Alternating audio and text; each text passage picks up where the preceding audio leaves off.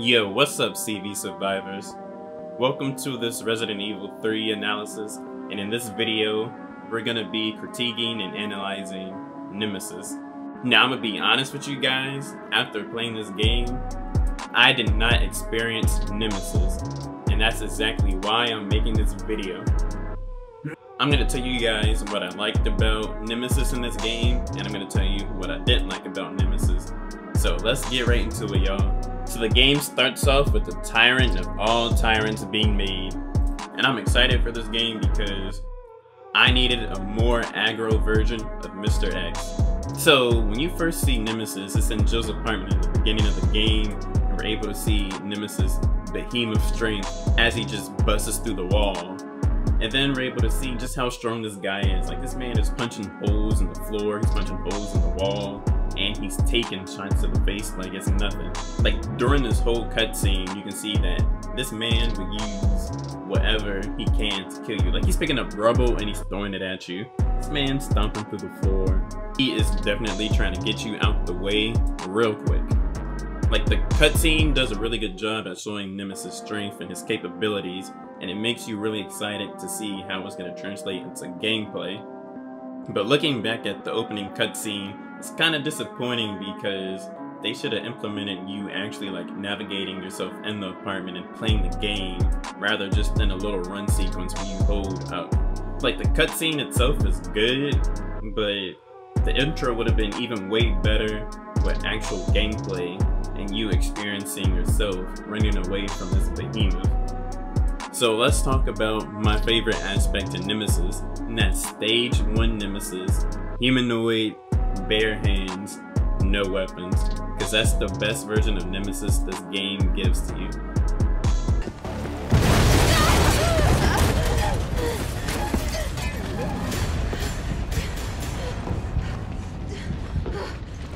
Considering Nemesis just took a whole rocket to the face, I knew that the first encounter with Nemesis would be wild. The gameplay you're seeing is from the Nightmare difficulty, but I gotta talk about my first encounter with Nemesis. When I first saw Nemesis, he was piecing me up. You would run away, and then you would get away, and he would leap to you out of nowhere. He was yanking me with his tentacles through fences. He was whooping my ass, but honestly, I was enjoying it. It was so much better than Mr. X from Resident Evil 2. On my first playthrough, you have to really learn the timing on his punches so you can get the perfect dodge. And the timing is kind of strict, so he was definitely giving you the hands. You can see in this clip that Nemesis completely disrespects my first aid spray as he just one hit kills you. Nemesis doesn't really have too many different attacks in his humanoid stage 1 form. He either is going to throw one punch or throw a series of punches. He's either going to yank you with his tentacle but the thing about it is he's so relentless and he charges at you so fast that it's very intimidating and he can still catch you off guard despite of the low variability of his attacks. He might grab you, but the clips you saw were from Nightmare, so I don't know if his one-hit kill grab is only in Nightmare and Inferno, but he might grab you too. What I like about Nemesis in the early part of the game is he actually stalks you and pursues you and when you increase the difficulty of the game, there's areas that he will go into that in lower difficulties he wouldn't go into. Like he will go into the garage, he will go into the donut shop. So you can't use those areas as chase breakers on higher difficulties. Next, we gotta talk about the next phase of Nemesis, and that's Flamethrower Nemesis. Now, I actually got a lot of things to critique in this part because I feel like they wasted so much potential they could have did with Flamethrower Nemesis. The main issue is you're really just running away from Nemesis. Like, he has a weapon now, but you're just watching him burn stuff, and it doesn't really translate to gameplay. Like, we can see he's smart enough to use a flamethrower, but what I think they should have really did with this part is make that area open to explore and actually make you encounter Nemesis and fight him with the flamethrower they could have made you explore that little demolition site and you could have got caught to a room and he could have burnt the room up with you in it and they could have made you figure out which room is the right room to go in. Like there's so many things they could have did rather than have you run away from Nemesis in a linear fashion. The boss fight with Flamethrower Nemesis is actually a really good boss fight I enjoy in this game. The reasons I enjoy this boss fight so much is the different phases and the different attacks Nemesis uses from when the flamethrower is fully functional to the point where it breaks and he's still weaponizing it to kill you with it. Like looking at its attacks, he does a standard flamethrower burn, which you know, it's easy to avoid and whatever. But as you start shooting the, the fuel tank in the back, then he kind of changes up his attack patterns. Like you can see him do fire swipes, which is it's a pretty cool move. It looks good. And then he shoots the fire up in the air and then creates all this flame terrain the, on the roof. And by the time you make the flamethrower fully unfunctional, he still picks it up and tries to bat you with it. I really like the concept of Nemesis trying to weaponize anything he can to kill you. It's like this guy religiously hates you and you can just tell by the way he yells stars every time he sees you. I gotta say, one of the scariest things Nemesis does in this game is when he's charging at you with the broken flamethrower. That is the scariest thing ever. He is way too big to be running like that like he has a spear. Following that boss fight, I like how he just chugs the broken flamethrower right at you. Now we gotta talk about Rocket Launcher Nemesis. And what I like about Rocket Launcher Nemesis is it's right after the boss fight with the flamethrower. You can still see he comes with the flames still burning and they just get put out.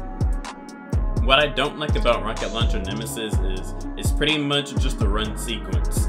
You're not interacting with Nemesis in the world where you can encounter him in a different area in that surrounding and have to deal with him in the rocket launcher. You're just really running away from him to a, an area where you get away in a linear fashion. I think they missed an opportunity to really capitalize on Nemesis and his signature weapon with the rocket launcher, making you interact with him. I ain't gonna front though, Nightmare, he was definitely piecing me up with that rocket launcher, him and the zombies. Now let's talk about Stage 2 Nemesis. Stage 2 Nemesis, I call him Dog Nemesis, and he transforms in the game and then you're greeted with another run sequence. How fun. And you are in an arena with Dog Nemesis. Stage 2 Nemesis definitely looks threatening with all those teeth and the sharp claws and how tall he is. But let's talk about the boss fight. So Nemesis has different moves, and most of his moves are ground pounds. He'll smash you with his fist, he'll jump up, and he'll ground pound you with his body. He has a grab that leads to like a dog bite, and then he'll throw you away. Honestly, Nemesis transformation is very underwhelming and it's not cool at all. One thing about these boss fights when Nemesis transforms to Dog Nemesis is they last forever and I don't understand why the boss fights take forever when you be dishing so much damage to them sometimes and the boss fight still wants to prolong. One thing I will say about Dog Nemesis in this boss fight is he definitely has been programmed with some WWE because this man goes all the way up there just to swanton bomb me.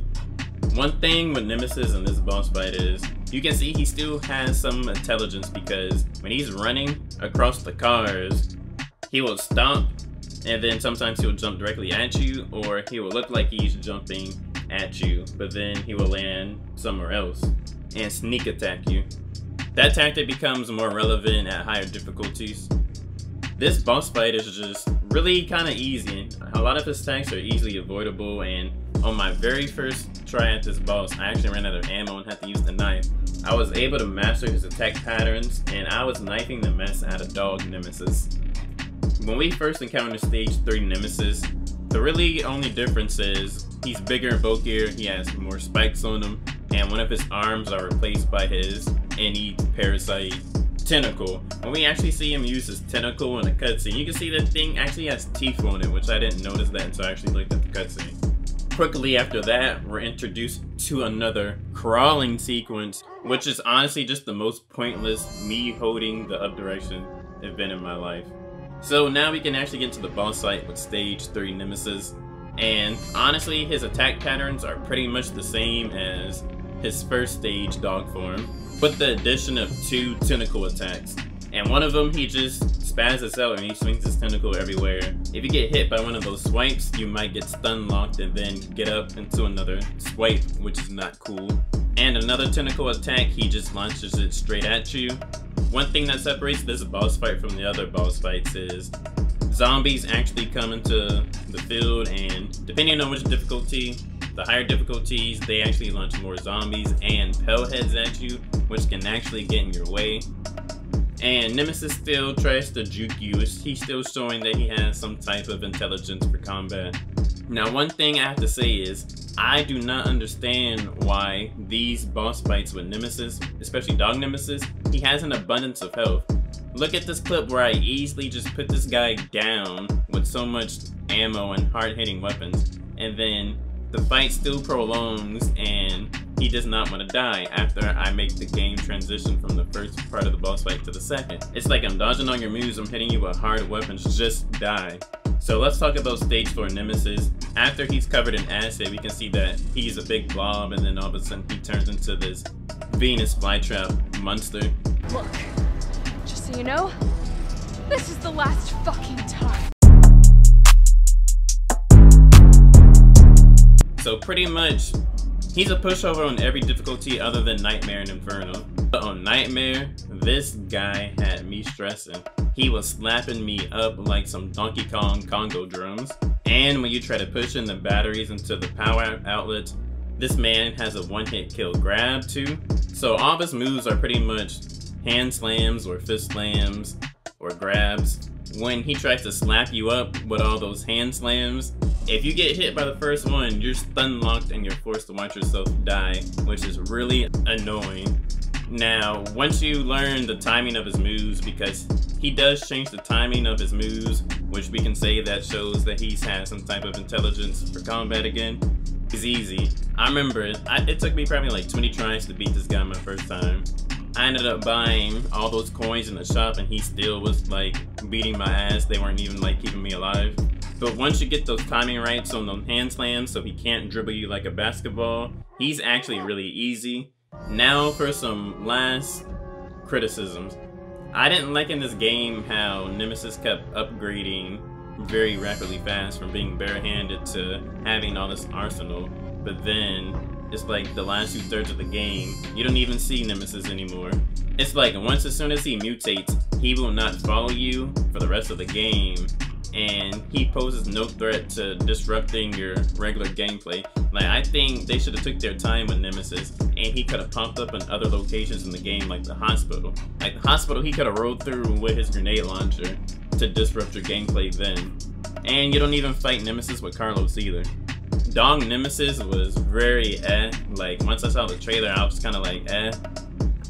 And then, like, he's only confined to arenas, so he's just bosses and like you don't even really experience Dog Nemesis. Like Dog Nemesis could have been better if he actually was implemented to disrupt your regular gameplay and stalk you like he did as a humanoid nemesis. I don't want to hear that the game wasn't designed to have him stalk you. And I know in the original Resident Evil 3 or the Resident Evil 3 Nemesis, his appearances were scripted, but okay, script them in even more in the game then. Like considering on Nightmare where he can follow you in locations he doesn't even normally go in.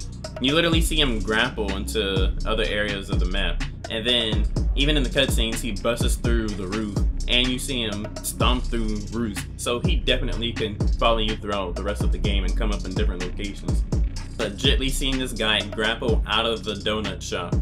And the donut shop has a roof. So do not tell me that Nemesis cannot be scripted in other areas of the game. He should have popped up in the sewers too. But anyways, I did not experience Nemesis, and this is why. And I will be going to play Resident Evil 3 Nemesis, so I can experience Nemesis. And if you like this video, subscribe. If you don't like the video, okay. So I don't know what my next Resident Evil video would be about. Maybe you guys can provide some ideas, but it's Perkspective, and you guys already know vibe out, and I'll catch you guys later.